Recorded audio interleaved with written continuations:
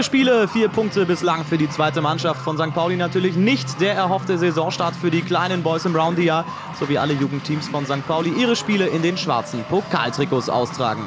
Joachim Filipkowski und seine Jungs wollen also raus aus den unteren Tabellenregionen. Unterstützt das Ganze durch drei Profis. Ersin C. hier mit dabei und für alle Fans der Kiezkicker erfreulich Rico Benatelli und Johannes Flum. Von Beginn an auf dem Rasen sollen nach längerer Verletzungspause erstmal wieder Spielpraxis sammeln und dann hoffentlich auch eine gute Rolle bei den Profis zu spielen. Stichwort gute Rolle. Christian Stark mit dem ersten Abschluss der Partie schon drei Tore und eine Vorlage für den Stürmer bislang.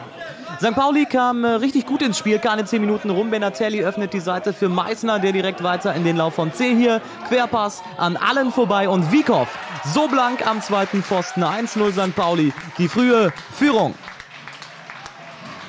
Die Belohnung für den Schwung, den die Mannschaft von Minute 1 auf den Platz brachte. C hier heute in etwas offensiverer Rolle mit der Übersicht und für Janis Wiekow das Ganze dann natürlich ziemlich easy. Joachim Filipkowski und Feridun Sandi auf der Trainerbank bis hierher zufrieden.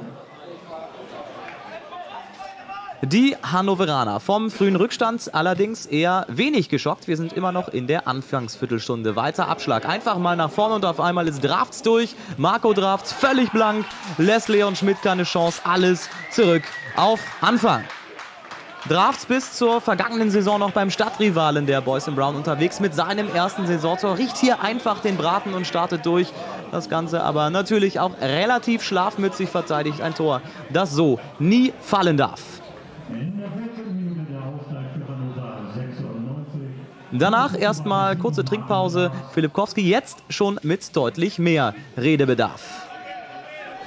Aber auch danach Hannover das aktivere Team mit dem ein oder anderen gefährlichen Vorstoß. Das ist Martin Wagner im Fallen an den Pfosten St. Pauli. Jetzt im Glück. Bei dem Ding wäre Keeper Schmidt ohne jede Chance gewesen.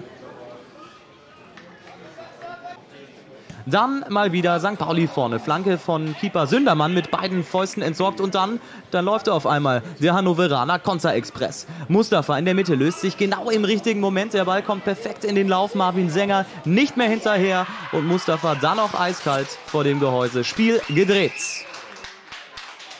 Knapp 40 Minuten rum, St. Pauli einmal unachtsam, einen Konter kassiert. Hannover dagegen mit fast perfekter Effektivität 1 zu 2 aus braun-weißer Sicht. Der Halbzeitstand, das Ganze nach verheißungsvollem Start in die Partie. Natürlich extra bitter, entsprechend sparsam auch die Gesichter bei den Verantwortlichen. Zweite Hälfte, ausgeglichene Partie jetzt. St. Pauli wollte. St. Pauli mit Christian Stark aus der Distanz. Sündermann ist da und Wiekow vergibt im Nachsetzen. Der Hannoveraner Keeper aufmerksam. Die Gäste mit der Führung im Rücken verlegten sich aufs Kontern, überließen St. Pauli über weite Strecken. Das Spiel. Es war allerdings ein bisschen zu ideenlos, was die Kiezkicker auf den Rasen brachten. Meißner mal mit einer guten Bewegung Abschluss nur um Zentimeter vorbei. Gutes Ding, aber zu diesem Zeitpunkt auch schon knapp 75 Minuten rum. Letzte Möglichkeit der Partie Freistoß. Jamal Cäsar nicht so schlecht, einer zum Fliegen für Sindermann, aber das war sie auch schon. Die letzte Gelegenheit der Partie.